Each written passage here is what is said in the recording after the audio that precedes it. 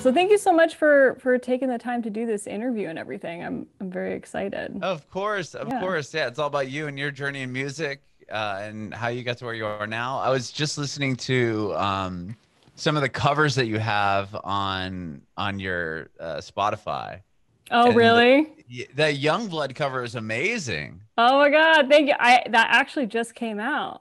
Oh, it did. I yeah. I just I was like, what is this the the the same Youngblood song I'm thinking it is? And yeah, I was like, whoa, yeah. It's a it's it's incredible. You, you did oh an incredible god. job. Thanks. Yeah, I have a good story behind that, but I'll save it for the chat so I don't give it away. Okay, well we're If there's a rolling now, so let's let's get into Okay, it. Okay, cool. Just let me know when you want to do the intro and Oh, I don't even intro. I just we're we're already. I oh, just Okay, cool. Don't pay attention to anything I just said. we can take I didn't even. I didn't know. Yeah. No, yeah, some people will do the like. So everybody, nah, Yeah, yeah. we we keep it cash on on, on our show. I love it. I love it. So okay, so born and raised in San Diego. Um, obviously, there's a lot of music happening in San Diego. Did you grow up going to like House of Blues, or was that even around yet? Because like, for I'm I'm I don't know how I think I'm much older than you. So uh, when I was growing up, there was like very few local sh- venues. There was like the Epicenter near Mesa had some shows. There's a place in um Clairemont called the Scene, and there's like the Che Cafe, but there wasn't a whole lot of all ages shows. So I don't know. Where did you grow up in like going to see live bands, and if so, where were you checking them out? So, you know, growing up in Vista, Vista is a very robust theater community. Oh, So I I grew up going to the Moonlight Amphitheater to go Oh, see sure. concerts and theater shows. Uh, it's it's a beautiful outdoor venue in North County, San Diego. Uh, I felt so lucky to have been able to to grow up in a community that was so arts rich. You know what I Mhm. mean? sure. Vista is definitely one of those like bright spots in San Diego for sure. And Mhm. and of course, like, you know, I go to shows throughout San Diego. I go see theater shows. You know, when I was younger and growing up there, like theater was my whole entire life, and that's how I got into music. oh, okay. Yeah, so I started working in professional theater when I was 10 um, at the Lawrence Welk Resort. Oh, in, uh, really? Escondido, Yeah, okay. California, in Yeah, I know Lawrence Welk. Very cool. Yeah, I was a kid doing the theater thing, and I, I did a bunch of shows throughout Southern California, LA, you know, Los Angeles, uh, Orange County, Mhm. and then of course San Diego. And then through all of that, ended up meeting the people that would go on to produce my music as a teenager, which is Really? wild. It's the craziest story. I was in this like random open call for a project and it was at a recording studio and i walked in and i was 13 i performed and i, I got the part and then i ended up growing this relationship with this family that owns this recording studio in los angeles it's called studio city sound okay. um, they're all from san diego too Wow. it's I didn't realize that. wild it was Okay. a wild story you know like one of those like the stars are aligning moments Sure. and you're like oh this is meant to be and that same family introduced me to my husband Oh wow. which is even crazier. So um, I definitely call the studio home. I've been working in and out of recording studios since I was 13. It's wow. it's been a, a crazy journey for me. I'm 28 now, so okay. um, I'm relatively young in the grand scheme Very of life. yeah, but- very young in the grand scheme of life. yeah, but I've like I've been around for a minute and I'm really thankful for the opportunities that I've been able to experience. I mean, some of the things I look back on it and I'm like, I was 15 and I got to do that? Like, are you kidding me? And um the whole process, like when you grow up in a studio and in that environment, it just makes it so much easier to hone your craft because you're listening to yourself all the time. You're around Right. professional musicians all the time, session musicians, songwriters, producers. And so it was literally the best experience I could ever hope for in my That- entire life. That is amazing. Um, well, with that, so very young, you were into theater and singing. Where when did you start singing? Was that the first kind of instrument, I guess, that you learned? Did you pick up piano or anything at a very early age, guitar or anything like that either? Yeah, you know, it's I don't even remember when I started to sing. It was Sure. before I could even talk, honestly. Like I would sing books instead of speak them. Oh, really? That's amazing. yeah. Yeah. My grandma would be like, okay, now your turn. And then I would just sing pages instead of speaking them. So my my family, like my parents knew at a very very early age that this is what I really wanted to do in mm-hmm. some way shape or form. My both my parents are really musical. Um, my mom sings. She's incredible. She doesn't sing enough. Um, I want to do a duet with her one day. My dad. Plays. I was gonna drums. say you should. Oh, he does. Wow. Yeah, yeah. And my brothers play the saxophone, and and one of my brothers is in the U.S. Army right now as a saxophone player in the Army band. So, wow, that's an achievement. I, oh, that is that's really incredible. Yeah, we are like a crazy musical family. We definitely like feed off of one another, and I'll gig with my brother. Probably one of the covers that you listen to on Spotify from me um, has my brother featured on it because I, I, have a Which bunch one? of lo- it's um the John Mayer one. I don't trust myself with loving you. Oh, okay. Okay. There's a saxophone part in that song that he came in and he played live with me. It was right after he finished boot camp. Oh and, wow! And he came in and he just he played the part. It's so magical to be able to make music with your family. Yeah, it's such a beautiful thing. And I'm I'm a big fan of family bands too. I mean, uh-huh. everything uh-huh. from like the Jackson Five to, I mean, the Haim sisters. They're oh sure, they're incredible and like a huge inspiration of mine. And mm-hmm. my husband actually went to school with Este Haim at UCLA. Did he? So, wow. Yeah, I just I think family bands just have a really good vibe, and so mm-hmm. I do what I can to make music with my family. But you know, as I mentioned before, like this has been a crazy journey. You know, from you know, doing professional theater from the time I was 10, you know, I wasn't instead of my elective, I was like on a stage and that that was my life. Sure. And then at like 13, I um, you know, had this chance encounter at this recording studio and ended up putting out music. And um, how did how did this this encounter happen? So I'm, I'm so you were, were, were you were singing in, in musical theater, and then you you said you did like an audition or something. You got an opportunity to to to sing there. Like what happened? Yeah, yeah. So I walked into an open call that happened mm-hmm. to be held at this recording studio. It was for what was it for? Okay, sorry. Go ahead. It was it's it's good. Uh, so there's this like 80s cult classic film called Teen Witch, and it stars Robin Lively. It's like always on ABC Family. It's like one of those like Halloween movies and it's okay. about this girl who on her 16th birthday she like she gets these like powers and she wants to be like a rock star and all this stuff. It's it's a cult classic film from that era. Okay. And um I ended up getting the part that I auditioned for, which was Shauna the rock star, which who's like in the dream sequences and all this oh, stuff. Oh, and cool. it was like really because I love rock music. I I mean I, there's a lot of rock influence in what I do, and it it's been that way ever since I was pretty young. Um, mm-hmm. Like I grew up listening to like Pink and like Kelly Clarkson and sure. just so many like Ann Wilson of Heart. Um, oh yeah, and talk so, about vocalists too. They oh yeah, just like to. I mean badass female vocalists. I mean, I was like sure. five in my mom's car listening to Divas Live. that, that, was me. Um, cool. And I feel really lucky that I, I have a mom who's a vocalist and who has great taste in singers. Um, so yeah, I get this I get this part uh, in Teen Witch the musical, and I I walk in the first day. Our rehearsals in that studio, and I meet like all these other girls that are in it. And so fast forward to today um, one of them is Lauren Patton, who is in Jagged Little Pill on Broadway. She's wow. quarantine Joe, character of Joe right now. She sings You Ought to Know. She's incredible. And we're, we're all like 13 at the time.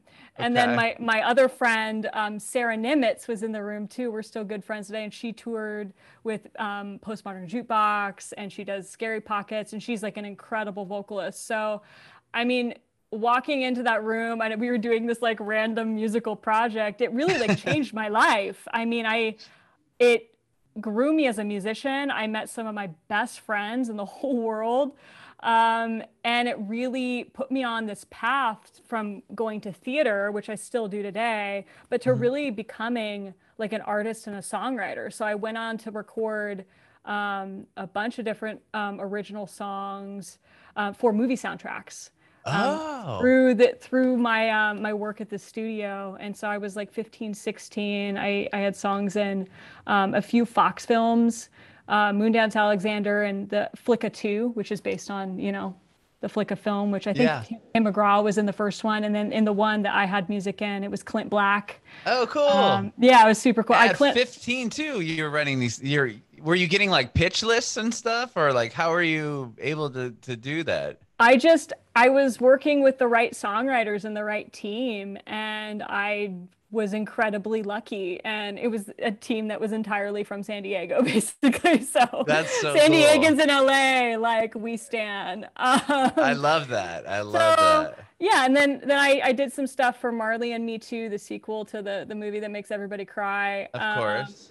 I, I joke that I've I've had music in um, dance movies, horses, uh, or movies about horses and um, and dogs. So it's like animals or dance, uh, and it's it's been this this crazy journey. But um, what has really been um, the biggest I don't want to say it's a challenge, but um, is transitioning into who I am as an artist as an adult. Because when you're in this business as a child and as a teenager, it's like you're still searching and trying to figure out who you are. Mhm. And um, I released a single when I was 17 that um, was in the top 40 charts of Mediabase. So it was like on top 40 radio now. Oh yeah, top 40 radio, of course. Yeah, I came Yeah. from radio. I used to be on a station in San Diego. oh no way! I love that. So I had a song Yeah. that, that did really well. Um, it was with my my San Diego fam from the studio, and we, we put this song together, and it really uh, took off. It was on like Radio Disney, RIP Radio Disney. Wow. I will.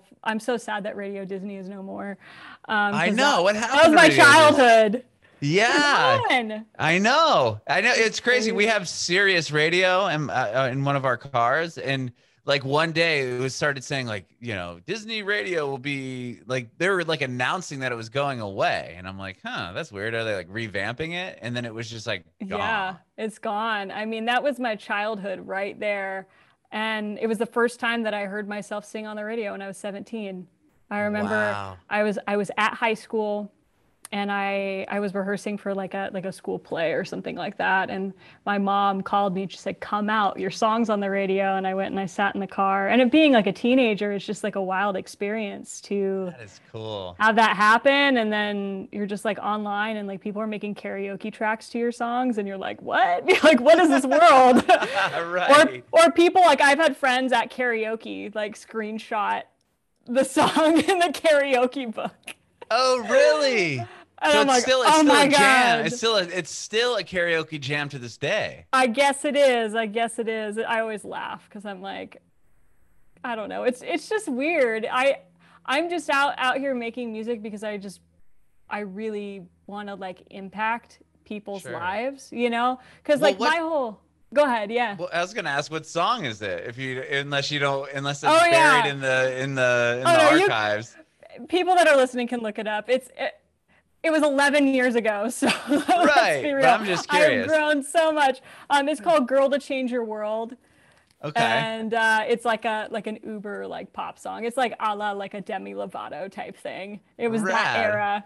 Um, yeah, so that that song went out, and you know it was a crazy whirlwind experience. And I got approached by a few labels. Um, they're major major labels, but they didn't. Um, the conversations weren't fruitful, and you know it was honestly like the best thing that could have ever happened to me in the long run right. because I, you know, I just don't know at 17 if I was really ready for that, and if I was really, um, if I had really like grown into myself as an artist. Mhm. Um, because I think there's there's definitely a point where you go from, at least when you're really young like that, like people are people are writing music for you. People are, um, you know, they're very hands-on in the producing process.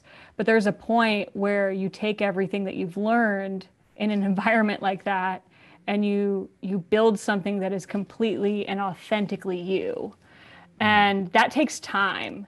And um, for me, I'm just I'm glad I had that time because now the music that I'm releasing in my current artist project, which is like Heather All Grown Up, um, is it's a commentary on happiness, and it's coming from this place of you know, somebody who's lived just a little bit more life now um, as an adult. I've been married for five years. Mm-hmm. Um, thank you, Studio City Sound, for finding me my husband.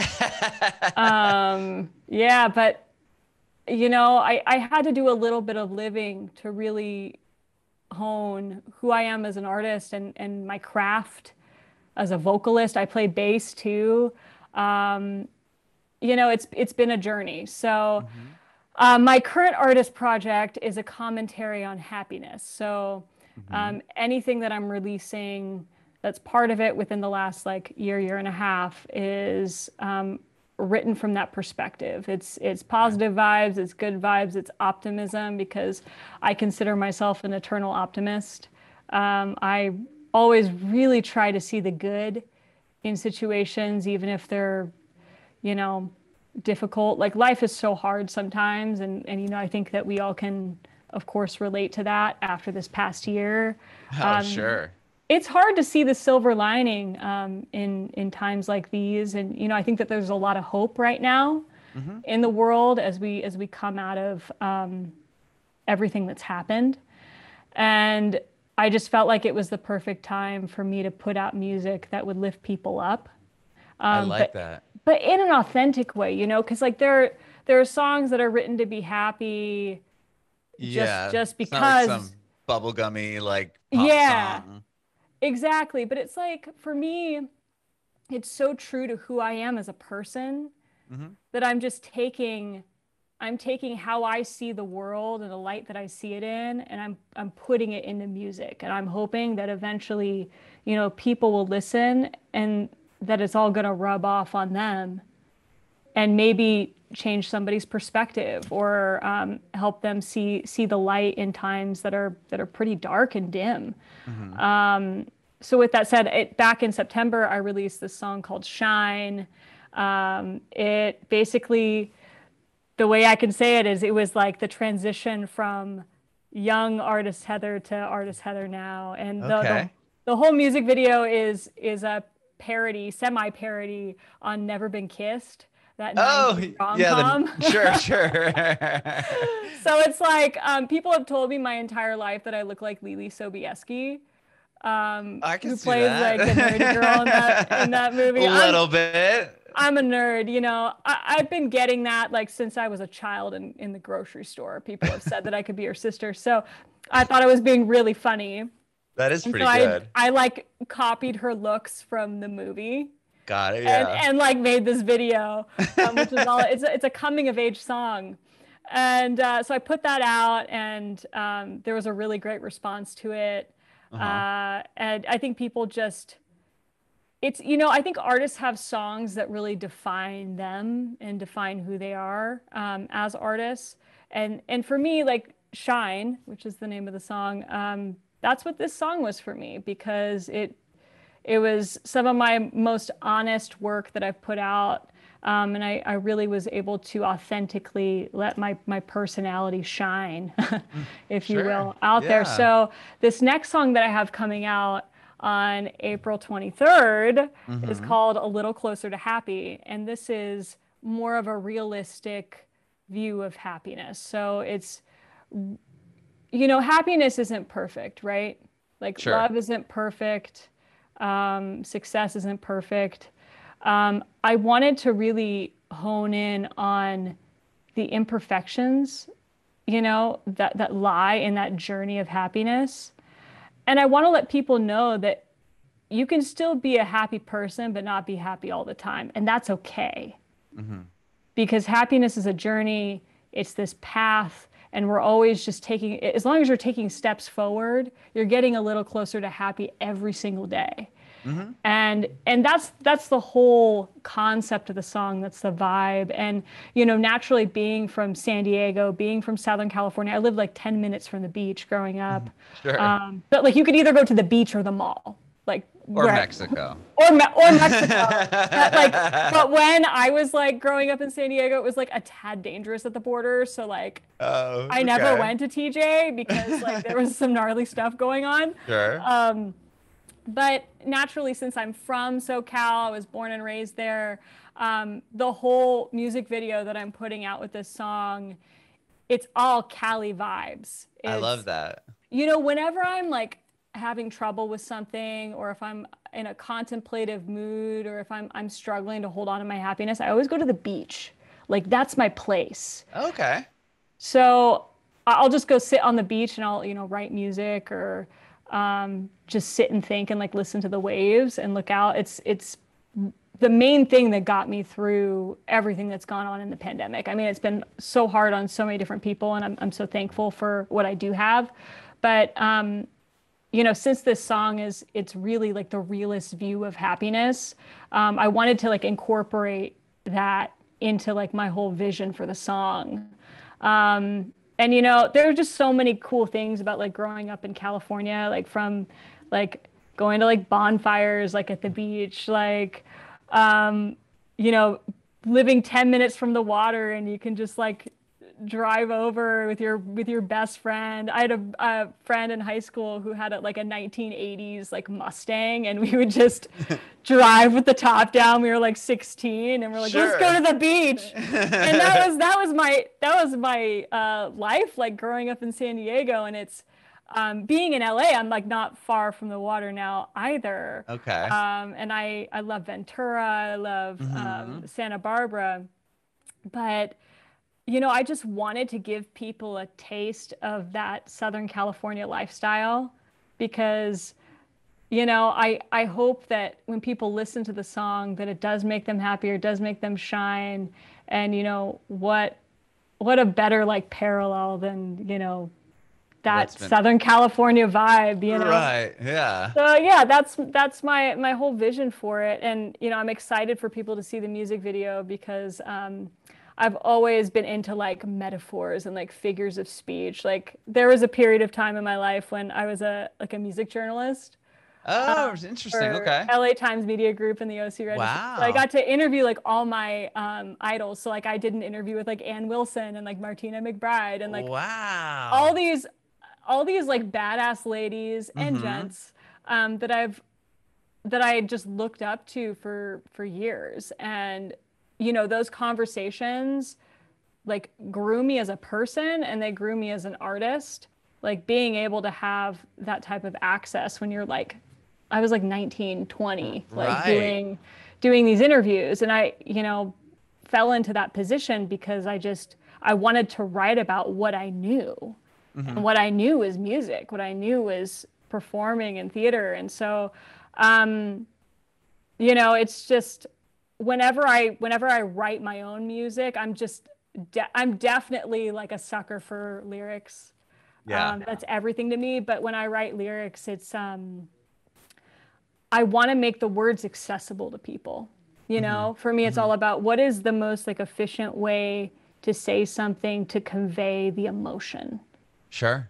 You know, and because I'm, you know, when when you when you work as a journalist for a while, you've that's the way that you're kind of like taught to think, and you you want to economize your words, and you want to get to the point and do right. all that. And as much as I love poetry, like, I do. Less you know? is more. It's like you got to get to the point real quick, or you're gonna lose. Yeah, like like that's that's my approach, like to to songwriting in general, because it's it's all about like I'm a very uh, passionate um, vocalist Mm-hmm. Uh, there's a lot of a lot of emotion in, in what I do, and I take a lot of pride in that because there are a lot of different types of vocalists. Like there are, like the the power singers. There are singers that that can riff all day and have crazy agility, and then there are um, singers that just like s- sing from the heart, and they may not like. There are a lot of artists out there that are like very emotional vocalists that maybe they don't consider themselves like a singer first, but like I love their voice because of all that emotion that's packed into it. And they're just mm-hmm. so good mm-hmm. at unpacking it for the listener.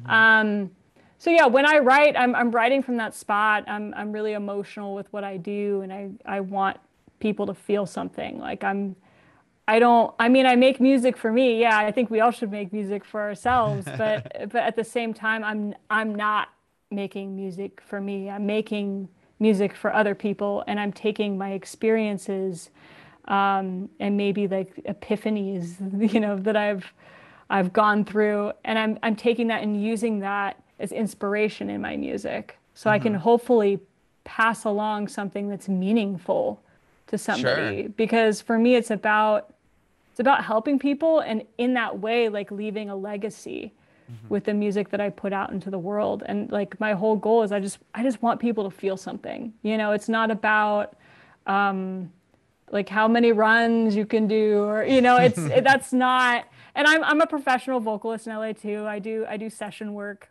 Okay. For like for TV shows and Yeah, you were a part um, of a TV show, right? I was. Well, that that was like on screen. I do off screen stuff too. Okay. But um the I was just on season 1 of Fox's I Can See Your Voice. Mm-hmm. Tell me about that. Was that cool? It's a wild TV show. I definitely recommend it. Um, you know, just get like a good bottle of wine or whatever your drink of choice is and um watch it on Hulu because that's that's where it is right now. So the premise of the show is that um, there are six secret voices in each episode, and the secret voices have their own pseudonym. So you don't go by your name on the show, you have a pseudonym. So um, mine was the tap dancer. Okay. Uh, because you know I I've actually been tap dancing longer than longer than I've been singing.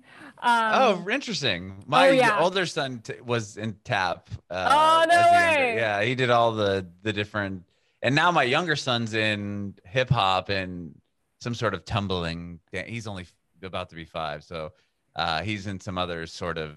It's like more of a tumbling class, and then he does the hip hop dance. But uh, my older son yeah. did did tap and jazz and ballet and all that and all that. So that is so great. I mean, I the the way that I got into tap is like this crazy story. Um, growing up, I had this condition with my um, hips is called a femoral anteversion and it just causes your feet to like turn in. It's like pigeon toedness oh yeah. They yeah. thought that my younger son had that. Yeah. So like mine was pretty like intense and my family um, took me to the doctor and they're like well we could do the surgery where they have to like shave your bone it's like real gnarly for like a kid yeah. to like go through and like listen to that conversation even Isn't if you're really bra- young a brace that they can kind of yeah they can do that too. too but they were like you know you could put her in in ballet and see if that helps so they put me in this like ballet tap combo class and i like i came for the tap and I got through the ballet.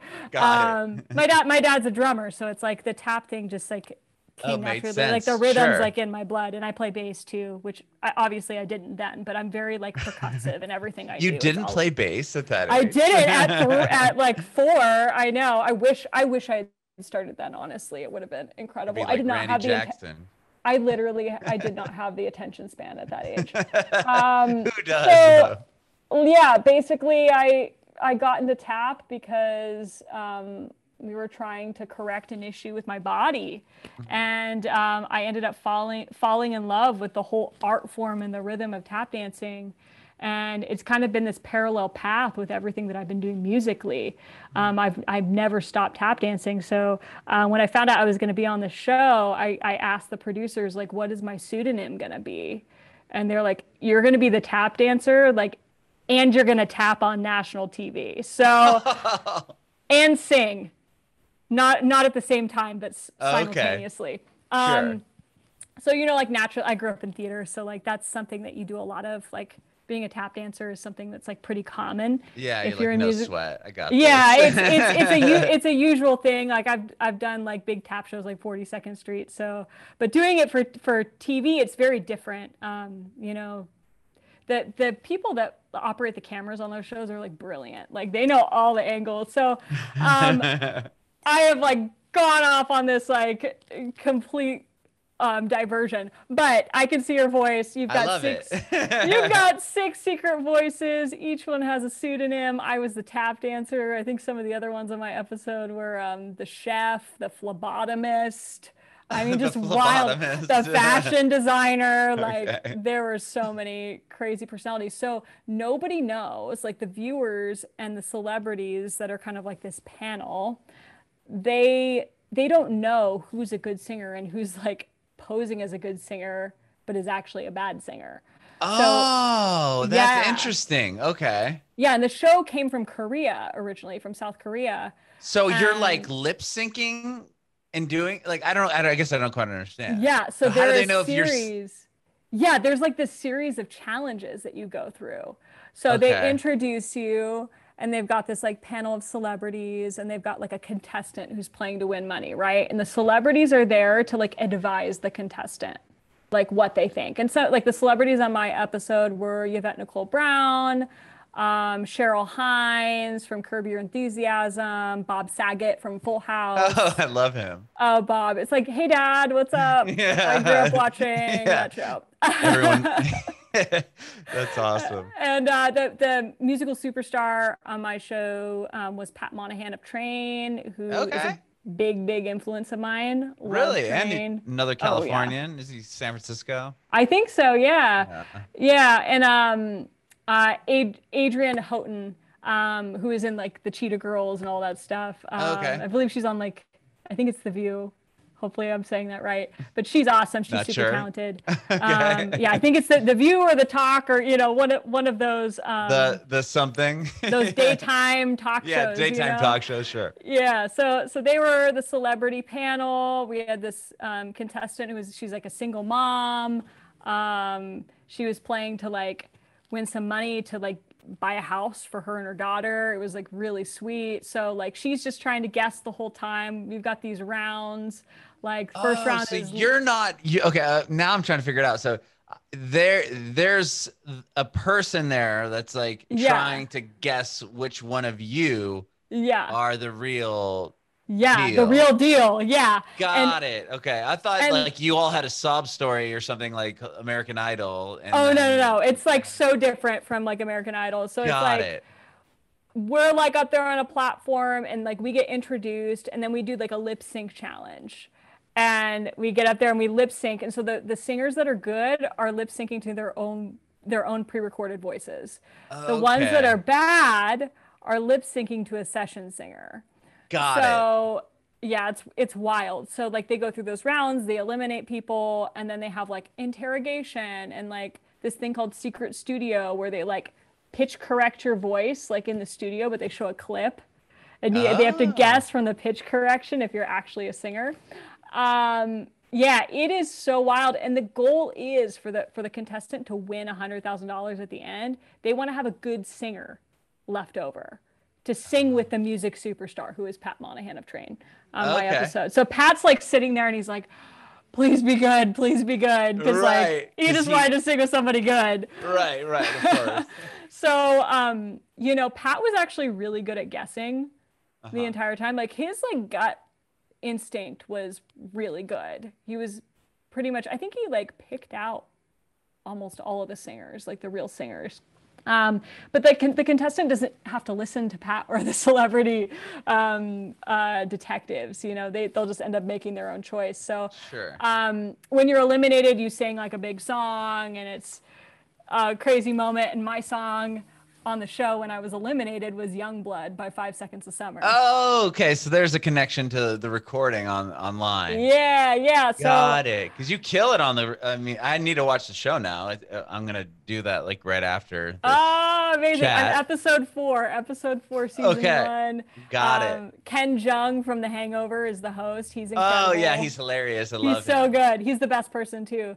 And uh, he's like he was so supportive of all the singers on the show. Really? Um, oh my god, like he just this was like not your typical reality TV show experience. Mm-hmm. Um, because like I did like the idol thing when I was 19. Like I went to Hollywood Week. Like it was cool, you know, but Oh, wow. this this um doing reality t- a different reality TV show 10 years later, like I had grown like so much and like Ken like creates a really awesome environment for everybody. So That's cool. um I was really happy with how it all rolled out. And so, yeah, I do Youngblood live and I like tap with it.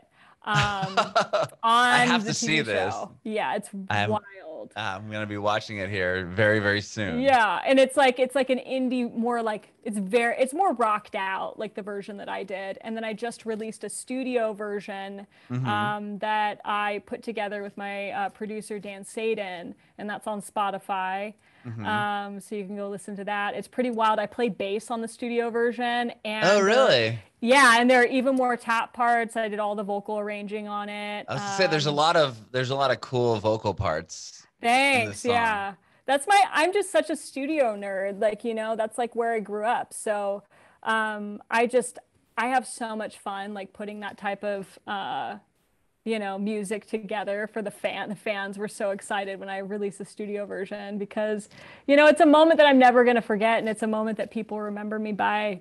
Um, and what's really cool now is like, you know, this show brought my music and my voice to so many new people, mm-hmm. and uh, I'm excited to be putting out this new song um, because it, it kind of has like Yungblud vibes a little bit. Like it's a little, um, it's it's definitely like indie rock influenced. Like sounds a lot like Haim Um, for those of you that didn't catch it the first time, it's called A Little Closer to Happy, and it's out April 23rd mm-hmm. um, on streaming services. And I'm also putting out a music video. Um, but it's definitely got that like Yungblud vibe to it.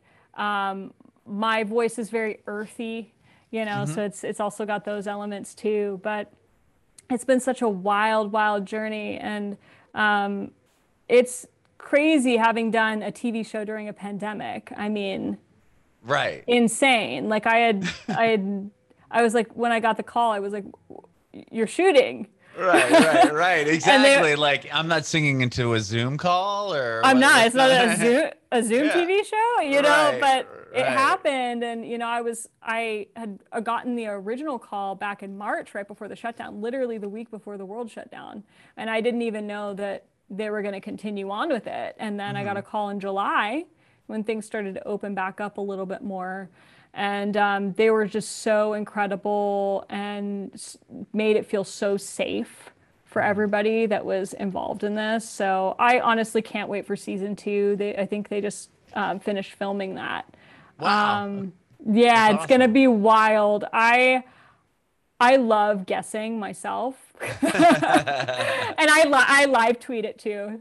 So oh, people, that's cool. People keep me honest, you know. That's um, awesome but yeah, it's wild. And I, I'm just, I'm so thankful for that experience and like how I, I grew up and everything. Like, like when I was 13, like I, so I didn't say this earlier on, but I, I do play bass, obviously. But I was inspired to play bass um, by Sting uh, oh, from okay. the Police. Yeah. Um, because when I was 13, I had the chance to to meet him, Really? yeah, and I I was the opening soloist at a UNICEF benefit concert in Beverly Hills that he was headlining. So wow. Yeah, so I met him and, and Natalie Cole like all in one night and like meeting Sting like really changed my life because um I saw He's him on awesome. stage playing bass and singing yeah. and I was like I I should do that, you know? Yeah, and, yeah so i mean i just look at like my journey like from you know being a tap dancer at a really young, young age and being in theater and then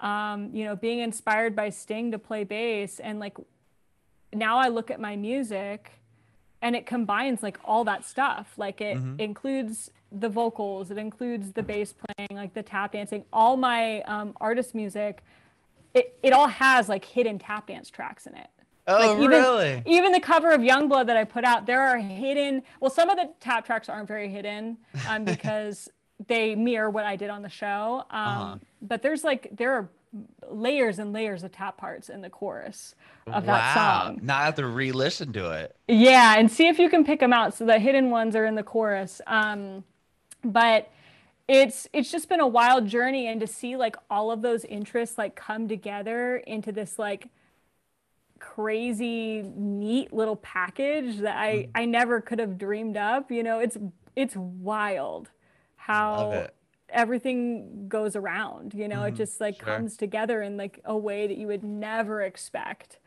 Um, so I'm just excited for the future, to be honest. Like I'm I'm excited for this new music that I'm putting out. Uh-huh. I'm I'm working on even more songs. Um, I was gonna um, ask that. Is is this gonna be part of uh, like a full like an EP or record or I mean it seems like you have this happy, you know, idea going. Is it gonna be like a collection of songs or what are you thinking? I think that's a that's a great question. You know, it's the million dollar question. I mean, ideally, like I could see myself putting together this music in like a themed EP or album. I think mm-hmm. that would make a lot of sense. Mm-hmm. Um, I've just been releasing singles for now because I I'm frankly like very picky about the songwriting and the songs that I put out, and I, I want it to be authentic to that message. And you know, sometimes I just write sad songs, so Sure. I've got to continue. That, I'm going to write happier That will songs. make it on the happy EP. yeah, it's maybe it's, you can have a B side, the sad EP.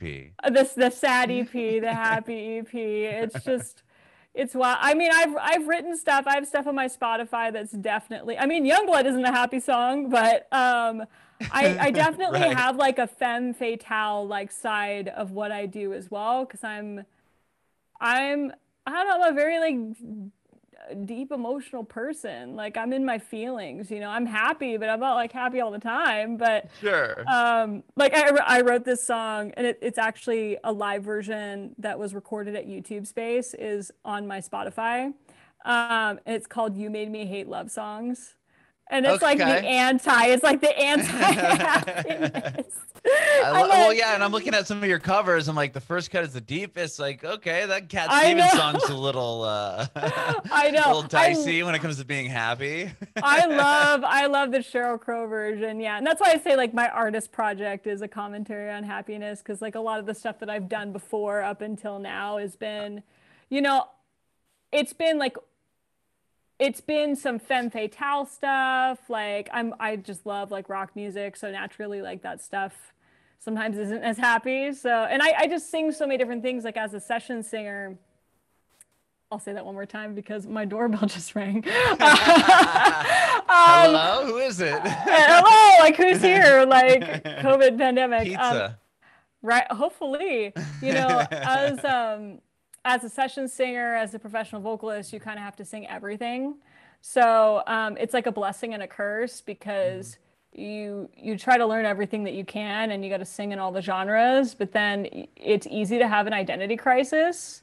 Mm-hmm. Um, and I think over this past like year and a half, I really figured out what my mission as an artist is and what the the most authentic um, presentation of myself is um, in the space. So, I mean, if you follow me on Instagram or, you know, Twitter, like you're just going to see like good vibes all day. Like I'm all about like, you know, tweet, I tweet like inspirational messages like at people, like, uh, like I do that like five times a day sometimes. And, and awesome. the people that follow me love that. And they're all about like the good vibes. Um, so I think that people know when they when they come to me or if they follow me or listen to my music, you know, that's that's what I'm going to give them. Sure. Um, and and I just want people to know that if they need like a little bit of like sunshine and good vibes in their life, like this is where they should come. I love that. I love that. And thank you so much, Heather, for doing this. I really appreciate it. Yeah, thank you. And it's it's always a pleasure to talk to a fellow San Diegan. Of course. We got to stick together. We have to. You know, I have one more question for you, though. Yeah. Sorry, go ahead. Uh, um, I was just going to say, do you have any advice for aspiring artists? Woo! Do I? um, I have a lot of advice for aspiring artists. Let's so, hear it. Let's hear it. Um, I would say, like, be kind to yourself mm-hmm. because each and every day you're growing. And, um, you know, I even look at my journey from the time I was 13 to now and um, I've grown so much. So just be kind to yourself throughout the process, and and try to you know write music or put out music that is authentic to you and not what you think other people want to hear from you. And I know that sounds like a little cliche and I've heard, you know, other people say that in interviews before, but I really do believe that because and and put out music that like when you sing it like you you just come alive and you just it's it just makes you whole. Um and i would say like be patient because it's i would say just be patient because it's a journey. Somebody is very impatient at your door. extremely impatient they want me to get off the Zoom, but I don't want to. Um, I gosh, love it. You gotta love it. It's COVID. Like, like this, who's this ringing is, my doorbell right now? This is my favorite like part of these interviews and the Zoom calls. They're just like the most like real versions of people. Like, yeah, that was my doorbell. Yeah. Whatever. Aspiring artists, don't answer your door during COVID. Yeah, or if there you, you do, go. wear your mask. Um, Yeah, it's it's been a wild journey, but just be kind to yourself, be kind to others. Um, if if people are really cool to you and help you out on your journey, like help people back, you know, because I do believe in good karma. And, um, you know, we all need to help each other out in this business because it's a hard one and it's even harder because of what has happened.